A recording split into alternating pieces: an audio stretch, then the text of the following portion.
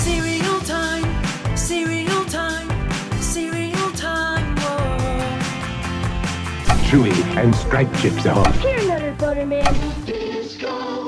What's up, cereal heads? Today we're going to talk about two new cereals from Post Chips Ahoy cereal and Nutter Butter cereal. But before we get to these, let's travel back in time to five months ago when I posted my video about Post's Honey Maid S'mores cereal. Let's just rewind it here. No, no, no, go past this. Past this part. In fact, never play this again. Ah, here we go. Alright, let's just make it full screen.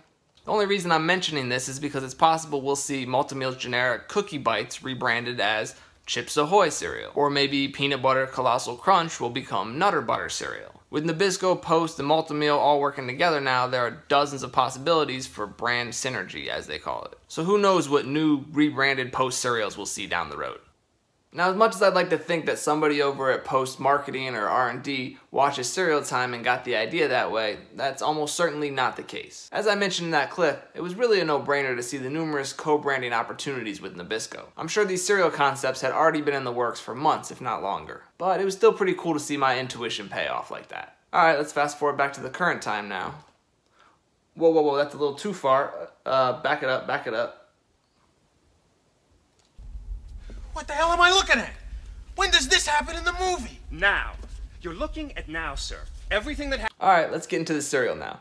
These two new boxes are available exclusively at Walmart, so if you want a box, head over to walmart.com or to your nearest Walmart store. Let's start with Chips Ahoy. This brand, under the Nabisco umbrella, started making cookies back in 1963. They make a handful of different varieties. The chewy chocolate chips are one of my favorites. And Chips Ahoy is the second best-selling cookie brand in the US, right behind Oreo, another Nabisco product. Now, as I mentioned in that clip, the co-branding between Post and Nabisco is what allows Post to use those Nabisco brands in their cereals. But the product itself is most likely just a repackaged version of Post Malt-O-Meal Cookie Bites cereal. Now, I say most likely because I actually haven't been able to find Cookie Bites or Peanut Butter Colossal Crunch on shelves near me recently. I've seen them in stores in the past, but I'm just wondering if Post is having Malt-O-Meal pull back on their production of those two cereals so as not to compete with these two new Post cereals. Whatever the case may be, this Chips Ahoy cereal is basically a knockoff of classic Cookie Crisp cereal released by Ralston. Back in the 80s, I used to love Cookie Crisp, but sometime, maybe when General Mills took over the brand, it changed the recipe and it doesn't taste anywhere near as good as it used to taste back in the day. But enough about those other cereals, we got this new Chips Ahoy cereal here, so let's take a look at it. So here's what this Chips Ahoy cereal looks like. It looks basically the same as Cookie Crisp. The cookies are puffier and less dense than the old original Cookie Crisp cereal though. Alright, let's give them a try.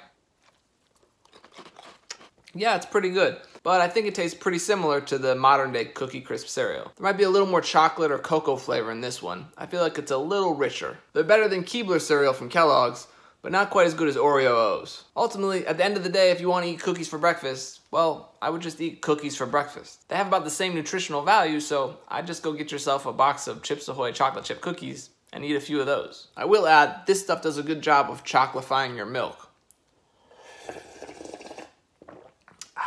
Okay, on to the next one. New Nutter Butter cereal.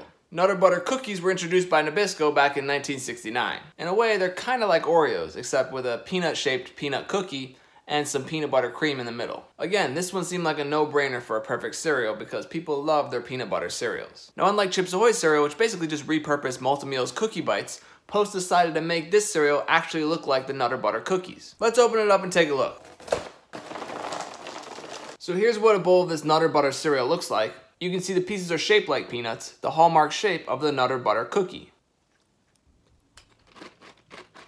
Mmm, that's really good. It's got a perfect peanut butter, sweet and salty balance to it. The flavor is not super unique or different than other peanut butter cereals that have come and gone before it, but I don't know, there's something about this flavor that I really, really like. It's better than peanut butter Captain Crunch or that Kellogg's Jif cereal that came out a while back. I think I slightly prefer peanut butter puffins over this one, but it's a virtual tie. Peanut butter toast crunch is still the mark to hit for me, but this stuff comes close. And it's cool to get a new peanut butter cereal from a familiar brand like Nutter Butter. So now, let's speculate. We've seen Post pair with Nabisco on Oreo O's, Chips Ahoy, and Nutter Butter cereals, so it seems like an easy formula to follow for them to capitalize on some of the well-known Nabisco brands and reinvent some of their existing cereal products. So what other Nabisco products could they make into cereals? Okay, first let's take a look at the major brands under the Nabisco umbrella. There's a lot of them, but here are the major players. I think right off the bat we can eliminate the gums and the mints. As funny as a Trident or Dentyne cereal might be, I think we can all agree that that ain't gonna happen. Next, let's eliminate some of the savory stuff like crackers and cheeses. Yes, I know some of you are probably dying for an easy cheese cereal, but trust me, you're in the minority.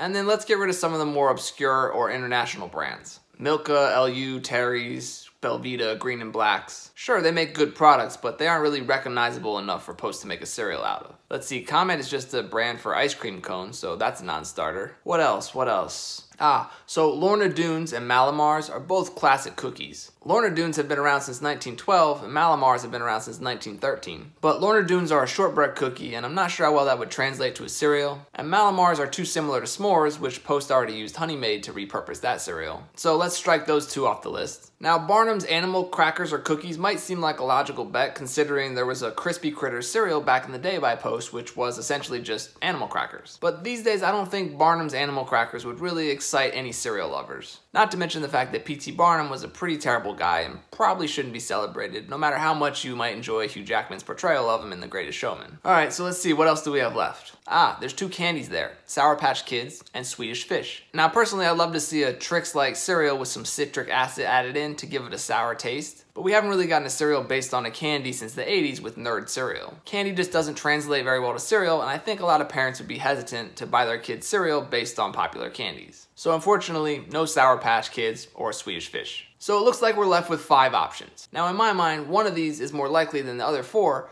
but let's run through all of them. Toblerone is an iconic chocolate bar known for its triangular shape and delicious honey and almond nougat flavor. Now I would love to see a cereal with little chocolate triangle puffs with almond flavor baked in and coated in a light honey flavor. That would be delicious and I think hugely popular, but for some reason I don't feel like chocolate bars translate to cereal very well, so I feel like that's unlikely. What about Fig Newtons? Those are one of my favorite cookies, and I feel like they're fairly popular still. I used to love the apple cinnamon and strawberry versions. But in concept, this doesn't sound too hard to make into a cereal, right? It wouldn't have to be super different from shredded wheats with fruit in the middle. Though instead of shredded wheat, I think this cereal would have to be more like, and I can't believe I'm saying this, Crave. You take that outer Crave shell, make it taste better, and then just fill it with a little fruit in the middle, and boom, you got yourself a Newton cereal. But whatever way you do it, it seems like it'd be way too much work for the Post team, and they don't seem like they're up to the effort or creativity needed to make this cereal. What about Ginger Snaps though? This is the one I most want to see actually. I know I hate to drone on about this all the time, especially around this time of year, but there's a serious lack of ginger or gingerbread cereals on the market. Feels like Post could just take their Malt-O-Meal toaster cereal and add a spicy ginger blast to them. They don't even need to make them round like the cookies. Keep the square shape. Just give us the ginger flavored cereal we've been asking for. And with a great known brand like Ginger Snaps behind it, people would love this stuff. Alright, now there's also Teddy Grahams. Now this is kind of cheating because Teddy Grahams was already a cereal back in 1990 when Nabisco still made cereals. They called it Breakfast Bear cereal, as you can see from this box I have from 1990. They had three flavors, chocolate, cinnamon, and this honey version. And the cereal was basically the same as just regular Teddy Grahams. In fact, you could probably just put Teddy Grahams in a bigger box, add the word cereal to it, slap the Post logo on it, and voila, Teddy Graham cereal.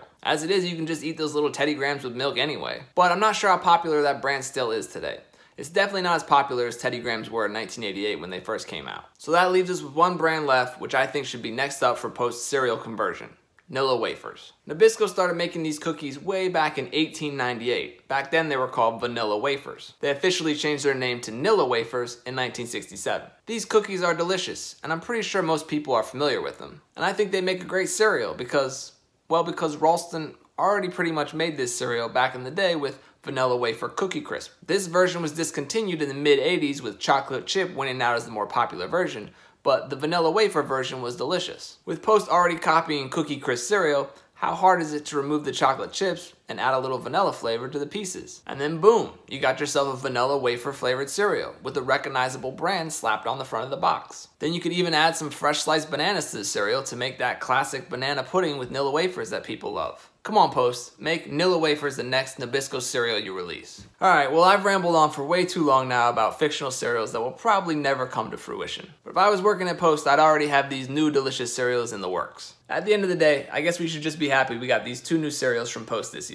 So if you like Chips Ahoy cookies or Nutter Butter cookies, head out to Walmart and pick these up. Alright, that's gonna do it for this episode. As always, thanks for watching, and until next time, stay crunchy. Man, I wish Nabisco would bring back Giggles cookies.